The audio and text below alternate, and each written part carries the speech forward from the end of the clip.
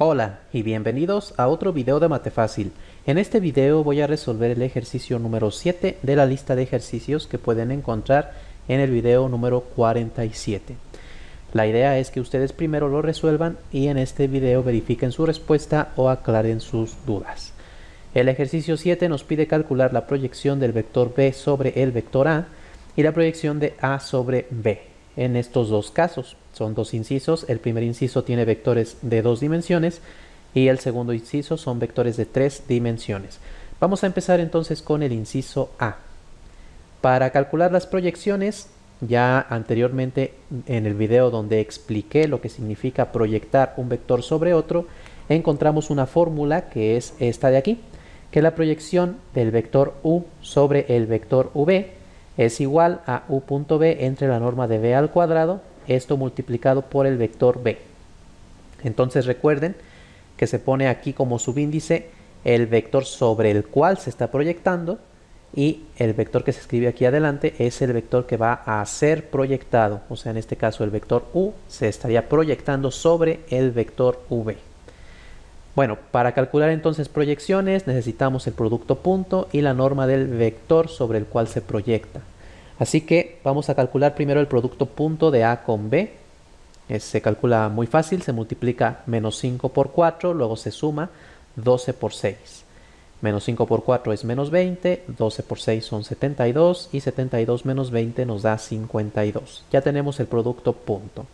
Ahora, cuando vayamos a proyectar sobre A, vamos a necesitar la norma de A al cuadrado. Entonces la norma de A al cuadrado se calcula como la suma de los cuadrados de las componentes. Recuerden que cuando obtenemos la norma de un vector, la norma es la raíz cuadrada de la suma de los cuadrados de las componentes. Pero en este caso, como estamos elevando la norma al cuadrado, ya no ponemos la raíz cuadrada porque al elevar al cuadrado, la raíz cuadrada se cancela.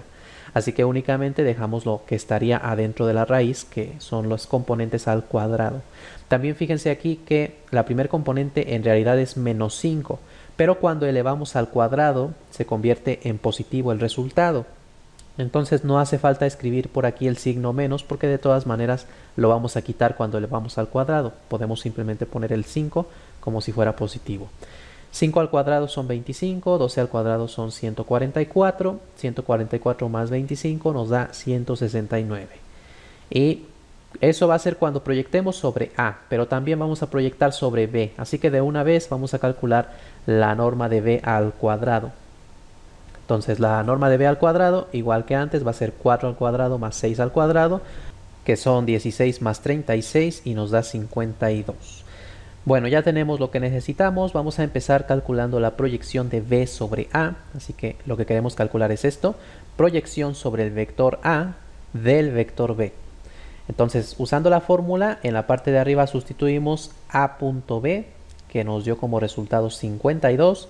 Y en la parte de abajo sería la norma de A al cuadrado.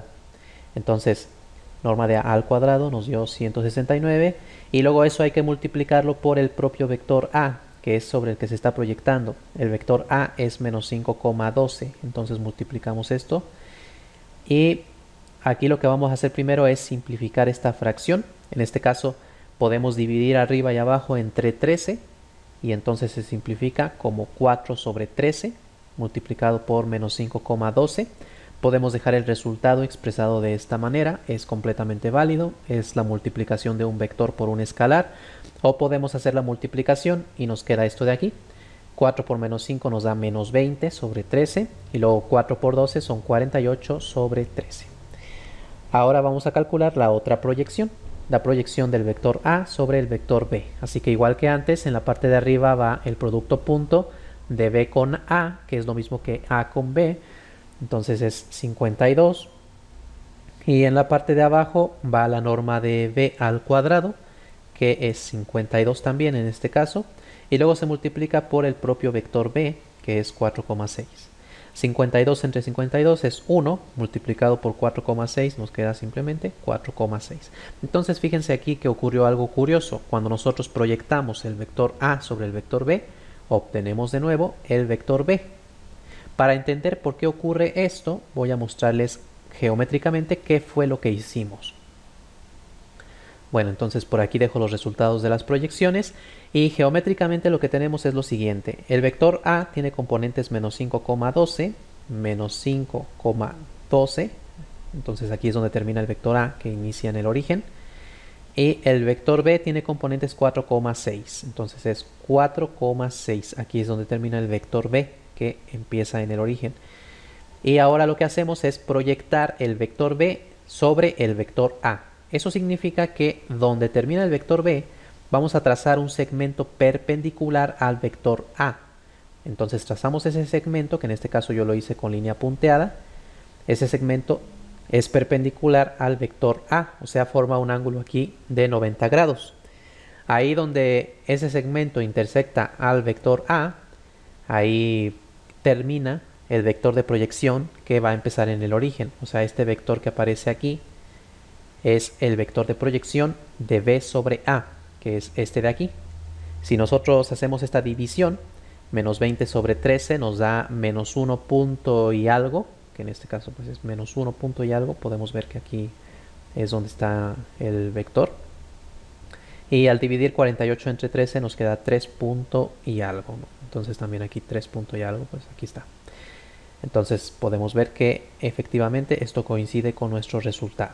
Ahora, para la otra proyección, estamos proyectando el vector A sobre el vector B. Entonces, donde termina el vector A, trazamos ahora un segmento que sea perpendicular al vector B.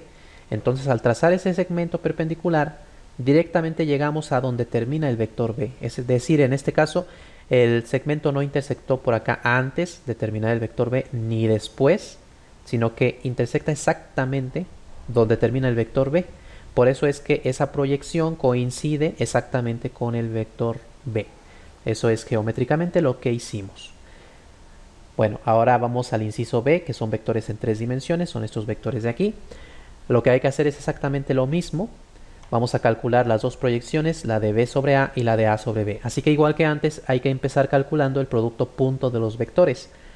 A punto B va a ser en este caso 1 por 1 más 1 por menos 1 más 1 por 1. Entonces queda aquí 1 menos 1 que nos da 0 y entonces el resultado es finalmente el 1 que surge de aquí. También hay que calcular las normas de los vectores al cuadrado. Empezamos con la norma de a al cuadrado que va a ser 1 al cuadrado más 1 al cuadrado más 1 al cuadrado que nos da 3. Y para la norma de b al cuadrado lo mismo, es 1 al cuadrado más 1 al cuadrado más 1 al cuadrado que también es 3. Y ahora Vamos a empezar con la proyección de B sobre el vector A. Entonces en la parte de arriba va el producto punto, que es 1, y en la parte de abajo va la norma de A al cuadrado, que es 3, y se multiplica por el vector A, que es I más J más K. Podemos dejar el resultado de esta manera, o podemos hacer la multiplicación y entonces queda un tercio de I más un tercio de J más un tercio de K. Y lo mismo ocurre con la otra proyección, la proyección de A sobre B. Entonces arriba va el producto punto que es 1 y abajo la norma de b al cuadrado que también fue 3 y luego se multiplica por el vector b que es i menos j más k. Al multiplicar nos queda un tercio de i menos un tercio de j más un tercio de k y esas son las proyecciones que nos pedían. En el siguiente video vamos a resolver el ejercicio número 8 de la lista que nos pide utilizar la fórmula para el producto punto, esta fórmula que ya vimos anteriormente en otro video para demostrar la desigualdad de Cauchy-Schwarz, que es esta desigualdad, que el valor absoluto de a punto b es menor o igual que la norma de a multiplicada por la norma de b. Y se nos da como sugerencia recordar que el valor absoluto del coseno de teta es menor o igual que 1 para cualquier valor de teta, o sea, para cualquier ángulo que pongamos aquí. Entonces con esa sugerencia se puede demostrar esta desigualdad de una manera muy sencilla. Los invito a que intenten hacer la demostración y ya en el siguiente video les muestro paso a paso cómo se hace. Si les gustó este video, apóyenme regalándome un like, suscríbanse a mi canal y compartan mis videos y recuerden que si tienen cualquier pregunta o sugerencia pueden dejarla en los comentarios.